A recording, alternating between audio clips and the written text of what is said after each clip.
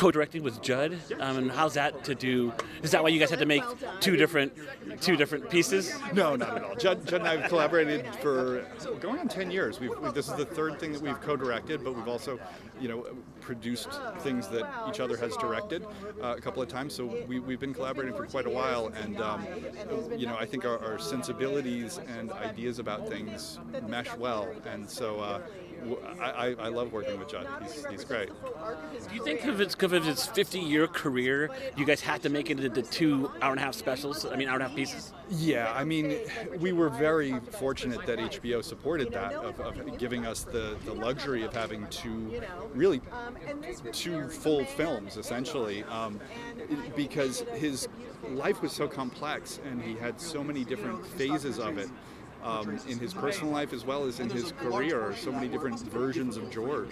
And so we felt like in order to even approach giving it a thorough look, um, that we needed a, a two-part uh, approach. I couldn't believe when I heard that you guys were making it, and then I'm actually to be here too to interview you guys. I'm a huge George Carlin fan, and um, I tried out to be a photographer, and um, I wanted the photograph, and I was talking to his agent, and at 2007, and he died in 08, and I'm like, and he died. I was like, so like, no, I never got to meet him. I was like, you ever get to meet him? I never got to meet him. No, no, unfortunately. Um, you know, through this, I've gotten to know uh, Kelly Carlin, his daughter, Sally Wade, his his wife, um, his brother Patrick, who we just lost about a month ago. Um, so, you know, got to spend some time with people who really did know him. You know, I, I didn't have that luxury, unfortunately.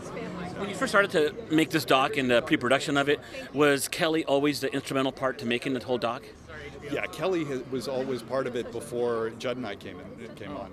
Um, you know, Kelly uh, controls all of George's uh, material, and so it would be virtually impossible to make a film without Kelly. And so Kelly was uh, instrumental in making the film happen, as well as her insight into who her father was and her own stories um, about life with him.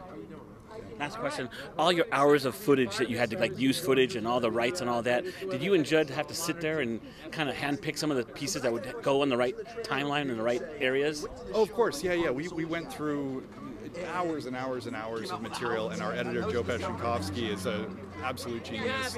And um, so, you know, between the three of us, going through the material and looking, you know, just spend days watching footage of George Carlin, which is not a, not a bad way to make a living. Yeah, yeah, yeah. Is Joe here tonight? Joe is here. I, I haven't seen him yet. He will be here. Okay, I want to talk to him. There was some, yeah, he's amazing. It was amazing what you guys did, and over two pieces the way you guys did it. yeah. Truly, Please talk to Joe. He's a genius. Truly masterpiece, by the way, what you guys did.